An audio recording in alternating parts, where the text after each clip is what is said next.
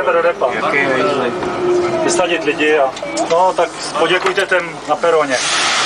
Totální šok. Tak popisuje vteřiny po vjezdu do stanice Lužiny řidič poslední pražské sovětské soupravy. Místo, aby si užil závěrečné chvíle za řídícím pultem, musel mačkat rychlobrzdu. Najednou jsem viděl, jak proti mně letí černý flek.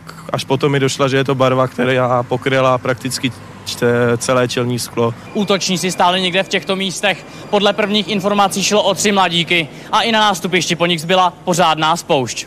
V tu chvíli se metrem vezli stovky lidí, převážně jeho fanoušci. Takhle pár asi debilů to udělalo, nevím, možná k tomu nějaký důvod měli, nějaký racionální, já myslím, že ne. Nechápu, jak tohle vůbec může někdo udělat. I tato žena se přišla s metrem rozloučit. Točili jsme s ní hodinu před útokem, kdy mluvila o svém vztahu k sovětským soupravám. To je souprava, kterou když jsem byla jako dítě, tak jsme na to všichni čekali. Kompletní závěrečné jízdy se ale nedočkala a po Vandelex byla jen plechovka, sami stihli utéct.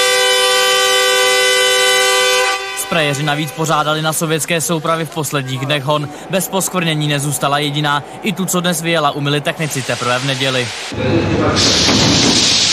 První sovětská souprava typu 8171 vyjela poprvé do pražského podzemí 1. května 78. Dnes jejich éra končí. Po kolejích se teď budou prohánět už jen ty modernizované.